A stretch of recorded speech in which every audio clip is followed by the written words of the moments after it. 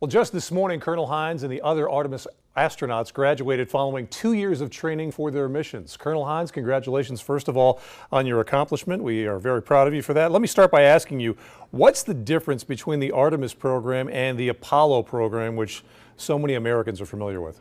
Oh, that's such a great question, and uh, and uh, thanks for having me today. It is uh, it is great to be able to you know talk with you and uh, and touch base with everybody back there uh, in in an area that is so important to me and was foundational in my my growing up. Artemis is different from Apollo in that with Apollo we went.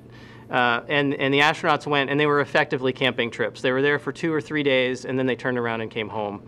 Uh, Artemis is an effort to not only land the first woman and the next man on the moon, but it's also going to be an effort to stay there and, uh, and to get there and stay there sustainably.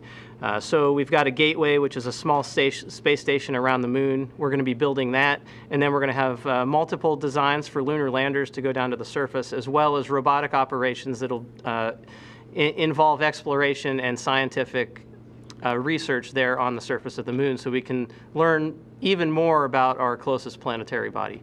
Artemis is scheduled to put Americans back on the moon by 2024 and then move on to Mars. Realistically here, how soon until we can actually get to Mars, put somebody on the planet?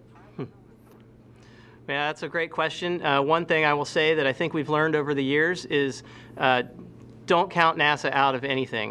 Uh, in 1962, when President Kennedy said we're going to put a person on the, uh, on the moon and return him safely to the Earth, the entire planet thought that it was impossible. Uh, and less than 10 years later, we did exactly that. And going to Mars is, is an even more difficult task, but when you bring in not only the expertise that NASA has and American ingenuity, but you look at the international partnerships that we have and the fact that we're bringing the entire world in on this this type of a journey, uh, I think anything is anything is possible. Uh, so certainly we have a long way to go and there's a lot of technology that we need to develop along the way, uh, but I think we have all the people and all the, uh, the industry in place to be able to do just that. Air Force Lieutenant Colonel Bob Hines, who calls Harrisburg home. It's great to talk to you. Congratulations. It's great to see a hometown boy do well. Thank you for your time.